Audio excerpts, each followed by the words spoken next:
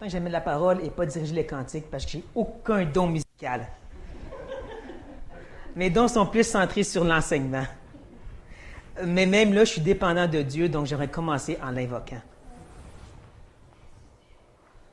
Père, nous voici tous assemblés devant toi, prêts à être enseignés, sachant fort bien à quel point c'est une bénédiction que Dieu se révèle à nous, des rebelles. Père, je suis dépendant de toi à 100 Peu importe les efforts que j'ai faits, je sais que c'est toi maintenant qui vas amener la parole.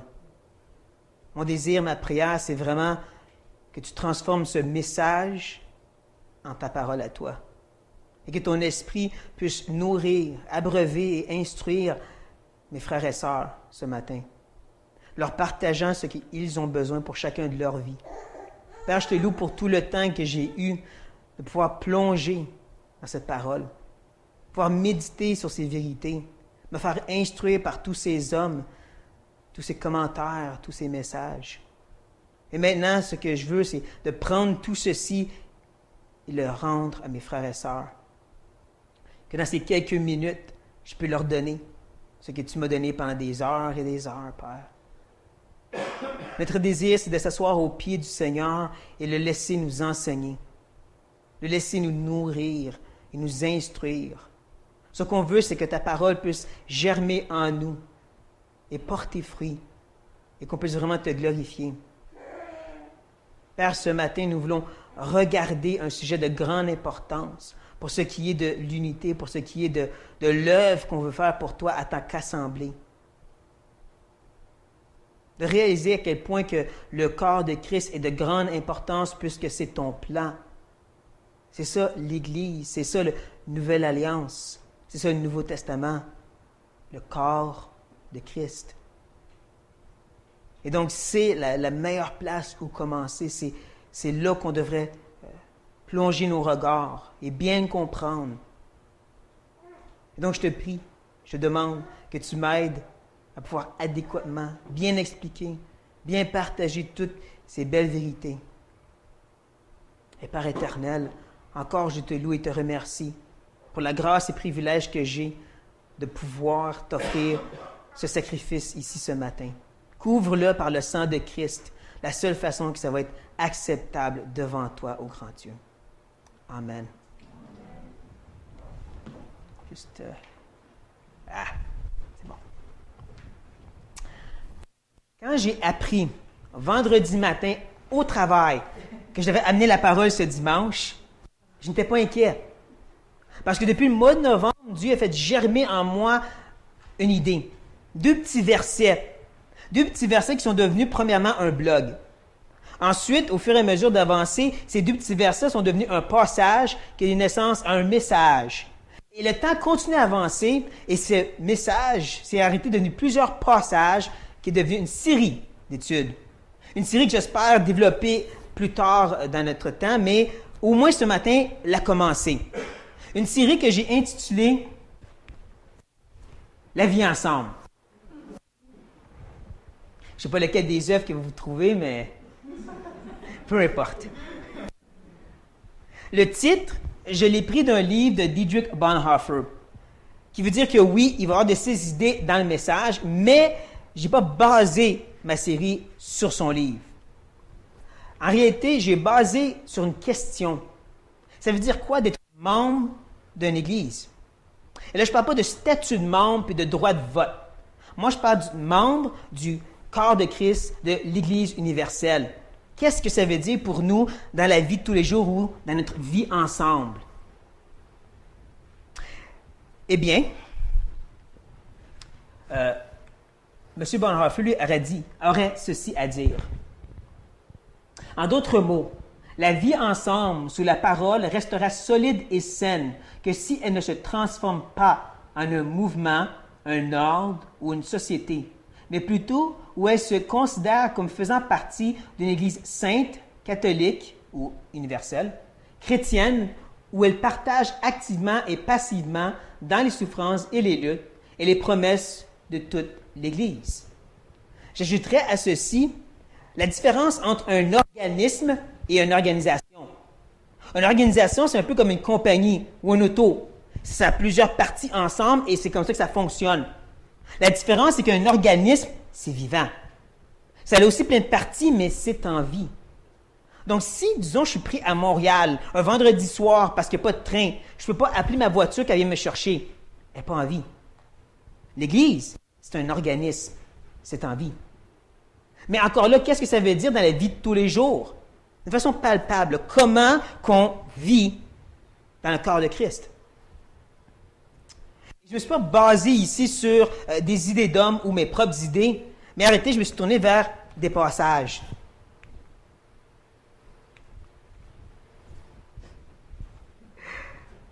Les passages se concentrent surtout sur euh, la façon qu'on interagit les uns avec les autres. Je ne suis pas en train de parler ici sur comment euh, l'Église devrait fonctionner dans les réunions, si vous voulez. Donc, je ne parle pas de 1 Timothée ou de Tite. Je ne parle pas non plus d'être un bon chrétien. Donc, je ne parle pas d'Éphésiens ou de Colossiens ou même d'Hébreux. Moi, je parle de la façon qu'on interagit les uns avec les autres. Comment ça se vit, ça? Donc, c'est possible que dans mes passages, vous allez dire Ah, tu as oublié celui-ci. Venez me le dire. Mais gardez toujours en tête, c'est des passages concentrés sur l'interaction. Les voici. 1 Corinthiens 12, 12 à 26. Le corps. Romains 12, 9 à 21. Les principes. Ici, bien sûr, je pourrais inclure plusieurs petits versets éparpillés dans Éphésiens et Colossiens qui nous montrent comment bien interagir ensemble. C'est tous des principes. On a aussi Romains 14 à 15, 3, que je pourrais appeler l'interaction, ou aussi le fort et le faible. Là aussi, j'ajouterais 1 Corinthiens 7, où on, a vu on voit la même idée. On a de même Galates 6, 1 à 5, le support. Et finalement, Jacques chapitre 5, 13 à 16, la confession ou la communication. Rebelle. Euh, euh, je sais que j'aurais pu trouver d'autres passages dans Jacques qui nous parlent beaucoup de l'interaction, mais puisque Samuel a déjà travaillé dedans, ne voulait pas piler sur ses pieds, et comme Paul dirait, ne construire sur un fondement de quelqu'un d'autre, je me suis dit, je vais devancer puis tout de suite sauter au chapitre 5. Mais ce matin, j'aimerais, comme vous avez vu, me concentrer sur le premier passage, chapitre 12 à 26. Mais ça, c'est un passage qui est beaucoup trop grand pour qu'on puisse euh, vraiment le décortiquer euh, adéquatement en une matinée. Parce que mon intention, c'est jamais de juste sortir des principes d'un grand passage. Ce que je veux, c'est vraiment décortiquer les passages, euh, d'aller dans le langage original, d'aller le contexte, de comprendre c'est quoi l'intention du Saint-Esprit. Qu'est-ce qu'il veut nous enseigner? Donc, dans certains de ces passages comme celui-ci, je vais le séparer en sections, faisant plusieurs messages. C'est pourquoi ce matin, on va se concentrer sur le chapitre 12, 12 à 20. Prochaine fois, je ne sais quand, va les versets 21 à 26. Pendant que vous tournez dans le chapitre 12 et le verset 12 de 1 Corinthiens, je pense que ce serait bon qu'on euh, se pose justement deux bonnes questions avant de rentrer dans le texte.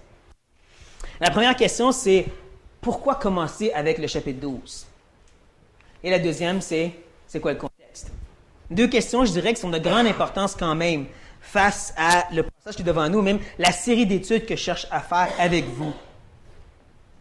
Je dirais que le chapitre 12, verset 12 à 20 même, je les ai pris spécifiquement pour commencer parce que c'est vraiment le fondement de toute cette série. C'est la, première couche de béton que Paul met dans le sous-sol sur lequel on peut construire le reste de l'édifice qu'on va voir ensemble. Pourquoi je dis ceci? Mais premièrement, si on réalise que dans la Bible, il y a plusieurs images que Dieu utilise pour parler de ces deux peuples. Vous savez, les Juifs et les chrétiens. Et pratiquement toutes ces images sont interchangeables et utilisées l'un pour l'autre. Euh, des images comme la vigne, le royaume, la famille, l'épouse. Autant les Juifs que les chrétiens sont appelés comme ça.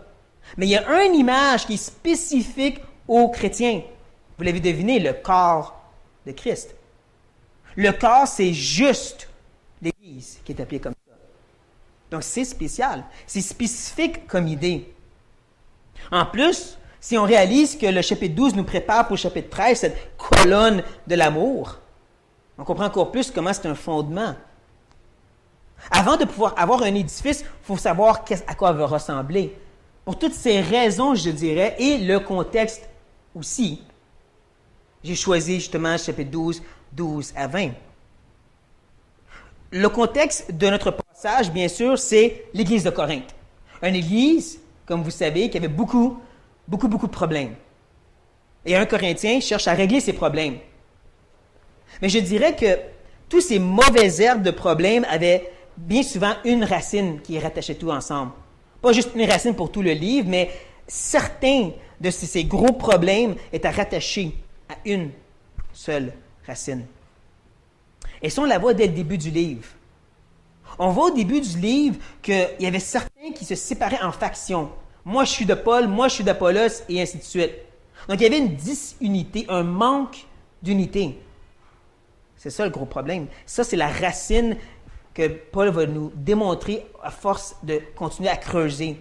Euh, c'est un peu comme ces temples découverts au Pérou. Si vous avez entendu parler de ceci. Ils ont trouvé juste une partie, ils ont continué à creuser, creuser, puis ils ont vu que c'était une gigantesque pyramide qui avait caché sous la terre. Et c'est ce que Paul va faire avec Corinthiens. Il va continuer à creuser, puis nous montrer c'est quoi cette racine-là. On arrive au chapitre 6, où est-ce qu'on voit qu'il y en a qui nous s'amenaient en cours manque d'unité, manque de, de, connexion ensemble. On arrive au chapitre 7, où est-ce qu'il y a certains qui se permettaient de manger des viandes sacrifiées puis d'autres qui disaient, ben moi je peux pas. Et les autres disaient, je m'en fous. Manque d'unité. On saute jusqu'au chapitre 11, où est-ce qu'on voit que le gros problème avec le repas du Seigneur, c'est qu'il y en a qui mangeaient, puis qu'il y en a qui ne mangeaient pas. Les riches avaient leur gros buffet, puis les pauvres, eux autres, il y avait du pain, puis du vin. C'était tout manque d'unité. Même le chapitre 12 commence avec cette fausse notion qu'il y a des dons qui sont meilleurs que d'autres. Moi, je parle en langue, je suis meilleur que toi, que juste le don d'administration. Et c'est là que Paul arrive au verset 12. C'est là qu'il va justement leur dire comment ça marche. C'est là qu'il va tuer cette racine. C'est pour ces raisons que j'aimerais commencer cette grosse série d'études avec 1 Corinthiens 12 et le verset 12. Et j'aimerais commencer, bien sûr, en lisant le passage. Verset 12. Car comme le corps est un, il a plusieurs membres, et comme tous les membres du corps, malgré leur nombre, ne forment qu'un seul corps, ainsi en est-il de Christ. Nous avons tous en effet été baptisés dans un seul esprit pour former un seul corps, soit juif, soit grec, soit esclave, soit libre. Nous avons tous été abreuvés d'un seul esprit. Ainsi, le corps n'est pas un seul membre, mais il est formé de plusieurs membres. Si le disait Je ne suis pas du corps, ne serait-il pas du corps pour cela Et si le disait Parce que je ne suis pas un œil, je ne suis pas du corps, ne serait-il pas du corps pour cela? Si tout le corps était œil, où serait l'ouïe? S'il était tout ouïe, où serait l'odorat? Maintenant, Dieu a placé chacun des membres dans le corps comme il a voulu. Si tous étaient un seul membre, où serait le corps? Maintenant donc, il y a plusieurs membres et un seul corps. Non seulement Paul veut régler le problème, mais il le fait en utilisant toutes ses capacités de grands écrivains. Je vous les montrer au fur et à mesure qu'on avance, mais tout de suite en partant, il prend une image choc. Une image qui aurait fait réfléchir ces Corinthiens grecs. Environ 500 ans avant Jésus-Christ, il y a eu une révolte parmi le peuple grec. Les, paysans se disaient pourquoi qu'on continue à donner à ces, dirigeants qui vont abuser? Et donc, se sont révoltés. Et à place d'envoyer des soldats pour les écraser, ils ont envoyé un, sénateur, dirigeant, orateur, philosophe, qui a raconté une fable une fable de justement le corps qui s'est dit pourquoi le ventre reçoit toute la nourriture? Nous autres, si on a vu la nutrition. Et donc, les mains s'étaient engagées depuis amener la nourriture.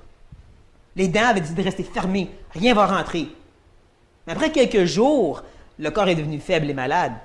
Et ont compris que le ventre recevait la nourriture, mais il distribuait cette nutrition au corps.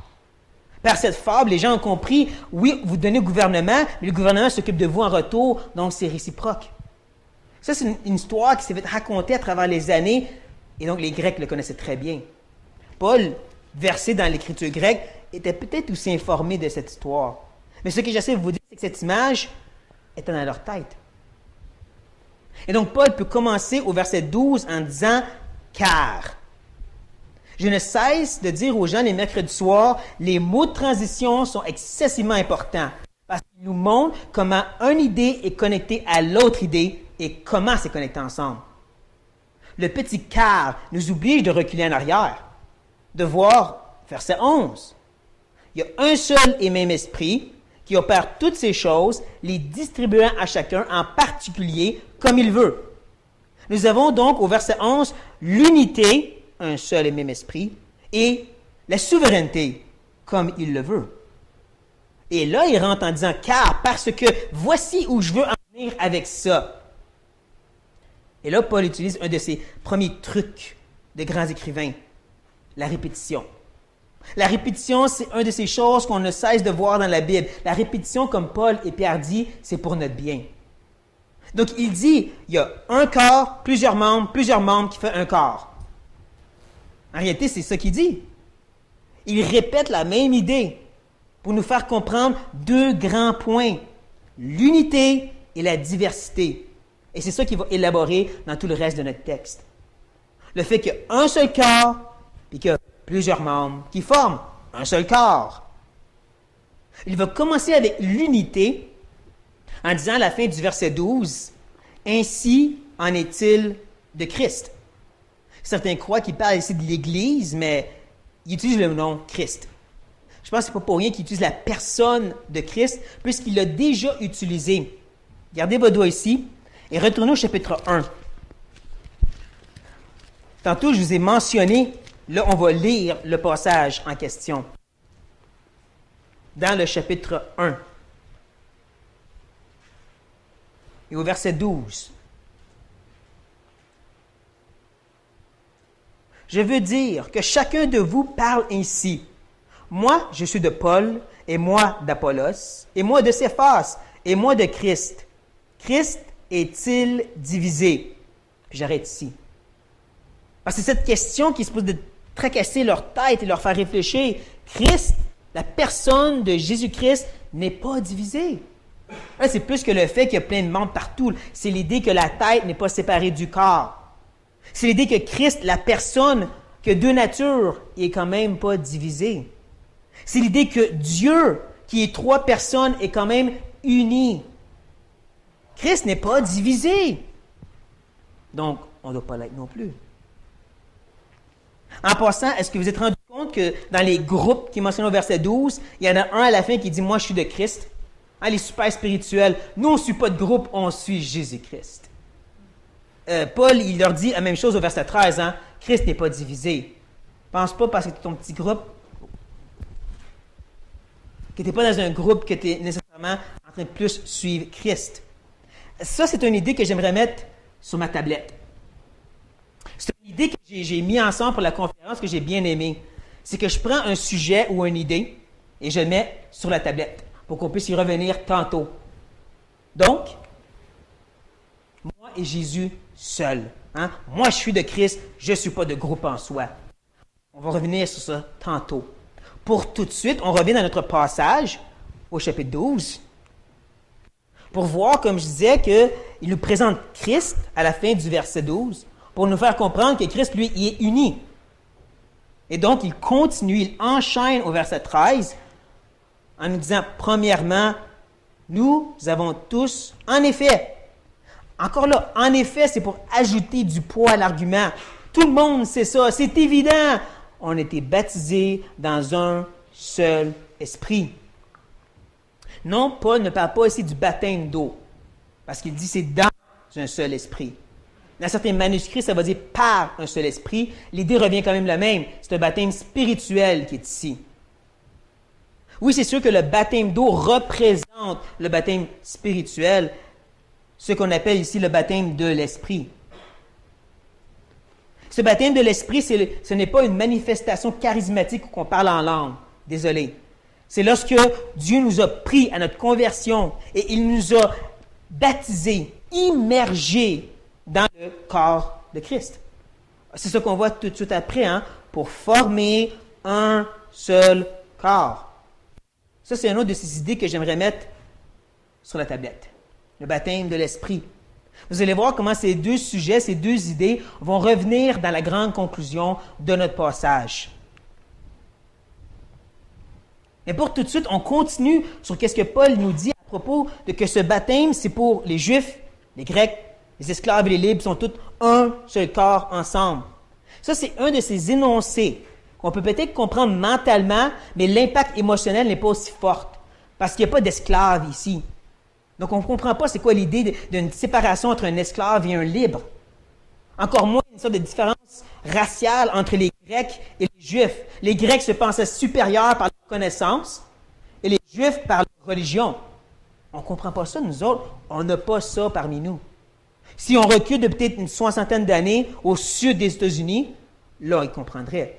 Ou est-ce que, désolé de le dire, mais il y avait des églises de noirs et des églises de blancs et on ne se mélangeait pas. Ou même si on se tourne vers la Russie présentement, où est-ce que des églises de Russes, des églises de Tchèques, des églises de Roumains, puis ils ne se mélangent pas entre eux. Il y a cette différence-là que eux comprendraient personnellement, mais nous, comme je dis, on peut juste le réaliser mentalement. On est tous ensemble. Et c'est là qu'il va enfin se tourner vers euh, une autre raison pourquoi qu'on est unis. Nous avons tous été abreuvés d'un seul esprit.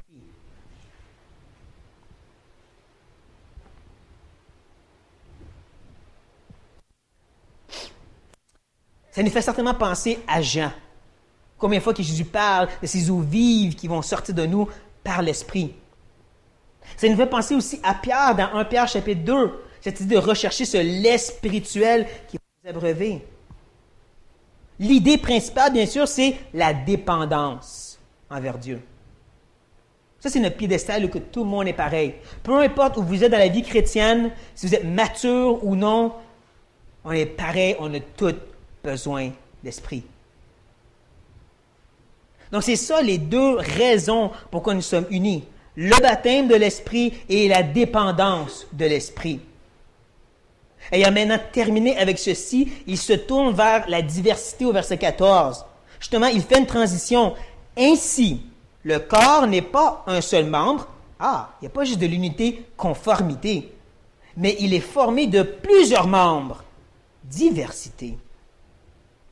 C'est ici que maintenant Paul va nous chercher à faire comprendre l'utilité de la diversité. Il va le faire avec deux arguments. Il va premièrement détruire une fausse conception et ensuite présenter une fausse conception. On commence par le fait qu'il détruit une fausse conception. On voit ça au verset 15 et 16, où est-ce qu'on voit que Paul va encore faire de la répétition? C'est pas juste la même idée qu'il répète, c'est littéralement les mêmes mots au verset 15 et 16. La seule chose qui change chez les membres, le pied à place de l'oreille, mais en réalité, ils disent exactement la même chose, les deux. Répétition pour le driller dans notre tête. Comment c'est une fausse conception? Cette idée que parce que je ne suis pas aussi utile qu'un autre, automatiquement je suis inutile. Paul dit, c'est pas comme ça que ça marche. Hein, le pied qui dit, je suis pas capable de ramasser des choses comme la main, donc moi je suis pas bon, je m'en vais. C'est vraiment de ça que Paul parle, parce qu'on voit à la fin du verset 15 et 16, ne serait-il pas du corps pour cela? Ils font quand même partie du corps. Il ne peut pas raisonner en eux, je suis inutile, je m'en vais. C'est triste à dire, mais il y a énormément de chrétiens qui trouvent leur identité dans leur fonction. Dépendant des sortes de ministères qu'ils ont dans l'Église, combien d'hommes qu'ils gagnent par jour. C'est ça mon identité. Et c'est totalement faux. Paul l'a montré un peu tantôt au verset 13. Ça, c'est notre identité, baptisée dans le corps de Christ. Cette fausse conception est erronée et elle est destructrice. Et c'est pour ça que Paul veut s'en débarrasser. Nous faire comprendre C'est pas à propos de qu'est-ce que tu fais, c'est à propos de le faire pour Dieu. Et il maintenant clarifié ceci. Il va prendre cette même idée des membres supposément inutiles ou utiles, et là, il va se tourner vers un autre de ses façons euh, d'expert en philosophie, expert dans la rhétorique et dans les enseignements. Et au verset 17, il va se tourner vers des questions qui font réfléchir, des questions qu'on n'est pas supposé répondre, mais juste y penser. Il va dire au verset 17, si tout le corps était œil, où serait l'ouïe? S'il était tout ouïe, où serait l'odorat? Si tu as un corps rempli de mains, comment tu fais pour avancer? Si tu as un corps rempli Dieu, comment tu fais pour entendre? Ça ne marche pas. Et, là, Paul va le pousser ça à un extrême. Ça, c'est un autre de ces trucs qu'ils utilisaient. On voit verset 19 qu'il dit Si tous étaient un seul membre, où serait le corps Tu prends l'idée première qui était fausse et tu la pousses si loin pour montrer à quel point qu'elle est farfelue. Imaginez-vous un gros œil. Ça ne peut pas exister parce que tu as besoin d'un cœur, tu as besoin des poumons pour vivre. Pour être un être, tu as besoin de toutes ces choses. Donc, ça ne peut pas être un corps, ça ne peut pas exister une telle folie. Paul prenant cette, mentalité que je ne suis pas aussi utile parce que, puis il dit, mais si tout le corps serait comme ça, il n'y aurait pas de corps. Donc, ça ne marche pas. C'est de cette façon que Paul a cherché à détruire cette euh, façon erronée de penser en la montrant dans son extrême.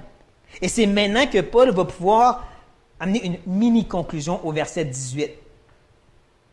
Je dis que c'est une mini-conclusion à cause du mot maintenant. Encore une fois, les mots sont importants.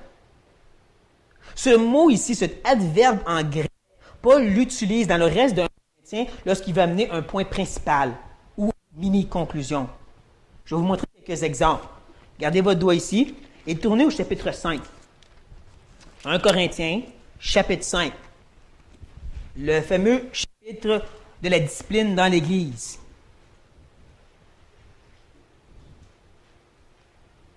Regardez bien la façon qu'il va conclure toutes ces argumentations au verset 11.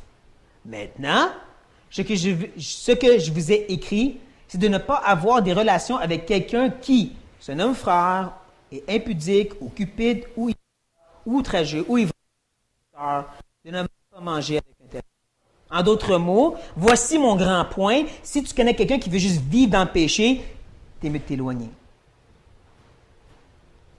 On continue. Allez maintenant au chapitre 13. Le chapitre de l'amour. Et regardez comment il conclut ça au verset 13. Maintenant, maintenant donc, ces trois choses demeurent, la foi, l'espérance, la charité, mais la plus grande de ces choses, c'est la charité. Ah, maintenant, vous comprenez que même si ces trois sont importants, la charité prend le dessus. C'est ça mon point principal. Et je veux que vous compreniez que ce n'est pas juste une conclusion pour un chapitre. Ce n'est pas comme ça que Paul l'utilise. Il l'utilise pour mettre fin à une certaine idée principale. Donc au chapitre 14, il débute encore avec cette fausse idée qu'il y a des dons qui sont meilleurs que d'autres le don de, des langues. Et il amène un point culminant au verset 6 en disant Et maintenant, frères, de quelle utilité vous serais-je si je venais à vous parlant en langue et si je ne vous parlais pas par des révélations ou des, par connaissance ou par prophétie ou par doctrine? En d'autres mots, ça donne quoi de parler en langue si personne ne comprend et vous ne recevez pas la vérité? J'espère que vous réalisez que ce n'est pas juste le mot maintenant. Je parle vraiment l'expression grecque que Paul réutilise et réutilise encore et encore pour dire voici mon point principal. Là, on revient dans notre texte et on voit le verset 18 où il va nous dire voici mon point principal. Dieu a placé chacun des membres dans le corps comme il a voulu. Si simple comme idée, si profond comme réalité. Il utilise encore l'argument de la souveraineté de Dieu, comme on l'a vu au tout début avec le verset 11. Il nous dit que c'est selon la volonté arrêtée, décidée, parfaite, éternelle de Dieu que ceci s'est accompli. Il dit que Dieu a placé. Dans le grec, il y a trois verbes qui veulent dire de placer quelque chose ou de l'installer ou quelque chose comme ça. C'est que Paul utilise ici, il est très spécial. Ça parle de placer quelque chose à l'horizontale et que c'est. Euh, j'ai oublié. Euh, passif. Passif. Tu n'as pas de choix dedans. Une image à laquelle on pourrait penser, c'est le chaos d'un boxeur. Il est couché à l'horizontale, puis c'était pas son choix. C'est à cause du coup de poing de l'autre. Mais Paul dit, Dieu t'a pris à ton salut, puis il t'a mis dans le corps où que lui voulait. Il n'avait rien à dire dans ça. S'il a voulu que tu sois l'orteil la rate ou la bouche, c'est comme bon lui semble. Toi, tu été placé là.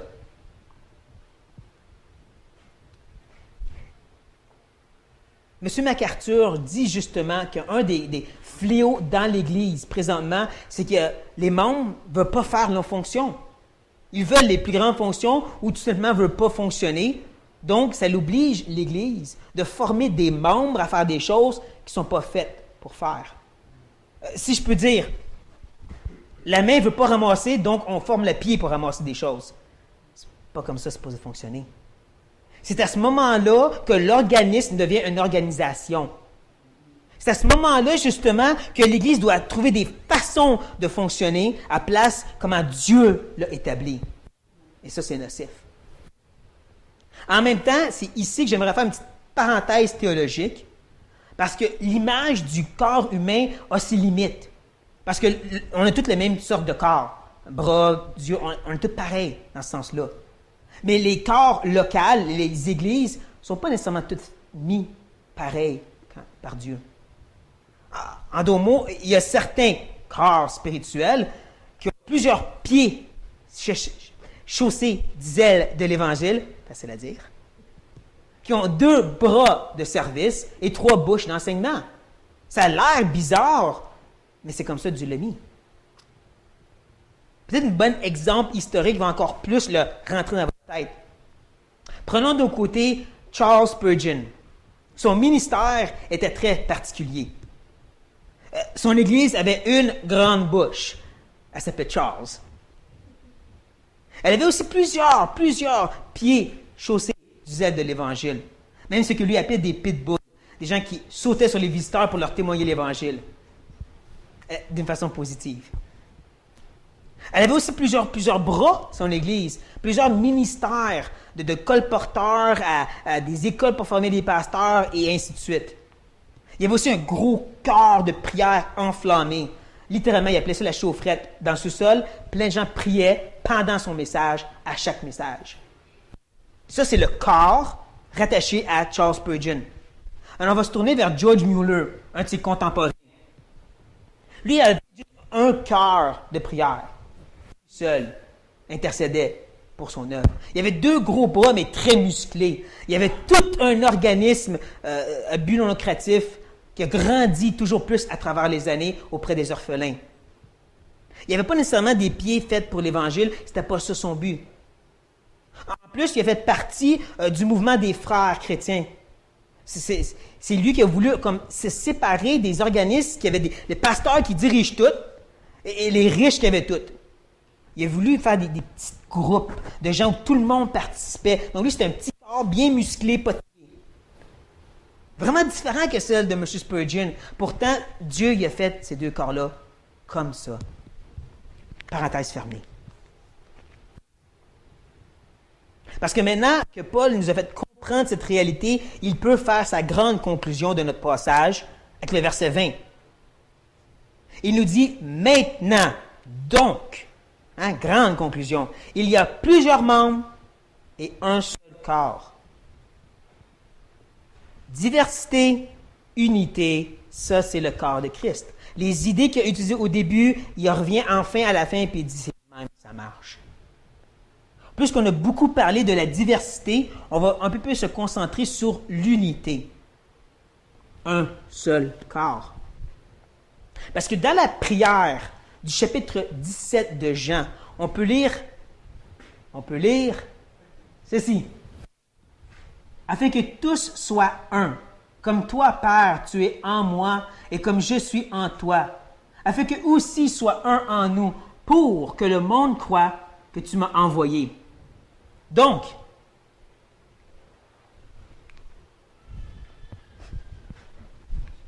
voilà. Pour que le monde croit que tu m'as envoyé. Pour que le monde réalise que je suis le Fils de Dieu, le Sauveur du monde. Je suis Dieu fait chair. Pour que les gens comprennent ceci, nous devons être des bons évangélistes. Nous devons avoir les meilleurs arguments. Nous devons avoir le meilleur témoignage individuel. C'est ce que le texte dit? Non, ce qu'il dit, c'est afin que tous soient un, afin qu'eux aussi soient un en nous, pour que le monde croit que tu m'as envoyé. Notre unité va manifester Christ au monde. C'est ça que le Seigneur a prié. C'est lorsque vraiment on est cette entité vivante que là, Christ est manifesté au monde. Pensez-y comme il faut. C'est lorsqu'on est vraiment recueillis ensemble qu'on est le corps de Christ. Donc, on le manifeste au monde. Et ce n'est pas juste le fait d'être bien organisé. Parce que les Mormons sont bien organisés. Les musulmans sont très bien organisés. Mais ils ne manifestent pas le vrai Christ. C'est lorsqu'on est vraiment cette entité vivante qui me pousse à me tourner vers un de mes euh, sujets que j'ai mis sur la tablette, moi et Jésus seul. Parce que c'est très prôné cette idée, et, je la comprends, je l'ai vu moi aussi. Moi et le Seigneur, je veux être intime avec lui, je le comprends, je le connaître, je veux le vivre seul. Un peu comme les, les, mouvements hermites. Euh, les mouvements où les gens se sont mis seuls dans les cavernes pour rechercher Dieu. Il leur manquait quelque chose. Paul dit dans Colossiens, et ça c'est sa prière en passant, afin qu'il ait le cœur rempli de consolation, qu'il soit uni dans la charité et enrichi d'une pleine intelligence pour connaître le mystère de Dieu, savoir Christ. La raison pourquoi j'ai souligné il met en gras cette petite euh, phrase et enrichi, c'est parce que dans le grec, la façon que c'est exprimé, on pourrait aussi le comprendre comme ceci. Pour une pleine intelligence, pour connaître le mystère de Dieu, savoir Christ. En d'autres mots, c'est l'unité dans la charité qui va donner une connaissance plus intime avec Christ. Ah. Nous voulons avoir plus de communion avec le Seigneur et voici qu'il nous dit ça se trouve avec les autres. Et là, ce n'est pas juste le fait de s'entraider, s'encourager, de prier les uns pour les autres. Ça, c'est utile, mais c'est encore cette idée d'un lien vivant. En d'autres mots, un baptême de l'esprit. Je suis désolé de vous le dire, mais le salut, c'est pas juste j'ai accepté Jésus comme mon sauveur personnel. C'est l'Esprit te prie, te crucifié sur la croix. Quand tu es mort, Christ est venu vivre en toi. Après, il t'a pris, il t'a mis en Christ, ce qu'on appelle le corps de Christ, le baptême de l'Esprit. Ça, c'est notre vérité. Ça, c'est le salut. Mais dans ce corps, justement, tu disparais. Tu n'existes plus. Tu fais partie de quelque chose de plus grand que toi. Et là, non, ce n'est pas l'idée bouddhiste de disparaître dans le néant. C'est une relation qui est vivante, comme je dis. Le monde prône énormément cette idée d'une personnalité individuelle. On est toutes des personnes. La Bible dit non, tu es un seul corps. Oui, on a vu, il y a la diversité dans ceci, mais diversité ne veut pas dire personnalité. Mon petit doigt, il n'est pas comme mon nez. Mais mon petit doigt, il va plier et déplier, ramasser et lâcher, et me gratter comme je lui ai dit de faire. Il ne va pas commencer à se rebeller, respecter ou s'en aller tout seul.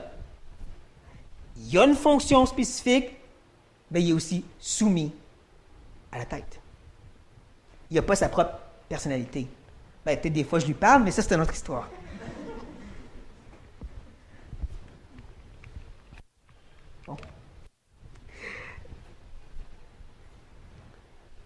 Je sais qu'un tel enseignement, ça ne laisse pas beaucoup d'instructions sur comment vivre la vie ensemble en réalité. Que, Paul commence juste en nous garochant de la vérité, juste en nous donnant de la doctrine. Mais quand on réalise que la façon que Paul a aidé les Colossiens, qu'il y avait un problème avec la fausse enseignement, c'était pas de dire arrêtez d'écouter la fausse enseignement, c'est de donner de la doctrine, de la christologie. Quand les Éphésiens commençaient à être froids dans leur cœur, Paul n'a pas dit voici quatre façons d'arrêter d'être froid. Il a donné la doctrine, qui vous êtes en Christ. Quand les Colossiens ont commencé à être juste centrés sur eux-mêmes, les Corinthiens ont commencé à être centrés sur eux-mêmes, Paul n'a pas dit arrêtez, ces méchants. Non, il leur a dit voici qui vous êtes, embarqués dans le corps de Christ. Donc, je, pourrais vous donner une certaine application. Vous allez peut-être pas l'aimer. Paul dit arrête de rouspéter, soumets-toi et abandonne-toi dans le corps de Christ. Comme j'ai dit, peut-être vous n'aimez pas trop ça. Mais c'est ça que Paul nous enseigne. Dieu t'a placé là, reste là. Fais ce que tu as à faire. Sur cette note, prions.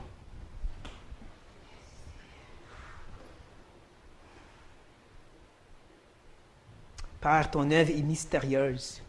Cette idée du corps de Christ est au-dessus de nos capacités de comprendre. On a nos vies à vivre, on a des euh, réunions d'église. Mais Père, on comprend très bien que c'est la vérité, la doctrine, qui nous aide à mieux comprendre notre vie ensuite. Savoir qui nous sommes pour ensuite savoir quoi faire. Père, aide-nous à approfondir cette réalité, de vraiment s'abandonner, de baigner dans le corps de Christ. De réaliser qu'on a été pris, crucifié et ensuite immergé dans le corps de notre Seigneur et Sauveur pour disparaître et pour ensuite pouvoir pleinement le glorifier, le refléter. Ce qu'on demande, Seigneur, c'est que tu nous aides à tous et chacun de voir dans nos vies quel est le, membre que nous sommes supposés être et comment on peut avoir la meilleure fonction à ta gloire dans ton corps. Père, que tu nous aides face à notre attitude individualistique qui voudrait faire les choses à notre façon, voudrait avoir notre relation avec Christ, et de réaliser que ça se trouve dans la communauté, dans la communion, tous ensemble. Père, je suis le premier à dire, aide-moi face à ça. Premier à dire, sors-moi de ma caverne et qu'on soit un à ta gloire. Père, dirige-nous tous et chacun. Amen.